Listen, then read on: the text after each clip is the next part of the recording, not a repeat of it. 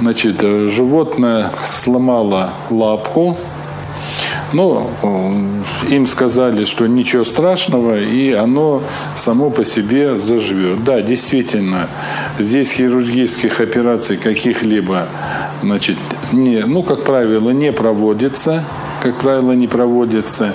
И определенные переломы, естественно, они заживают сами, но при этом нужно ограничивать определенную подвижность. То есть убрать, скажем, колесо на котором они бегают, э, различные лазилки, которые э, находятся в клетке, убрать.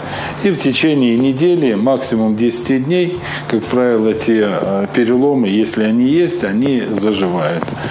В основном проблемы, которые возникают при содержании грызунов, это неправильное кормление, неправильное кормление, ну и э, присутствует также неправильное содержание. Кормить нужно теми кормами, которые продаются в магазинах. Не нужно им давать мягкий хлеб, мягкую, ну, тоже кашу мягкую, приготовленную. У них зубы растут очень быстро, и если исключить э, твердую пищу, соответственно, нарушается процесс приема пищи, ну и деформируется печень.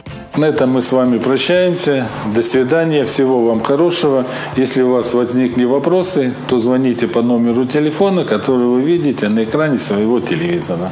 Всего хорошего.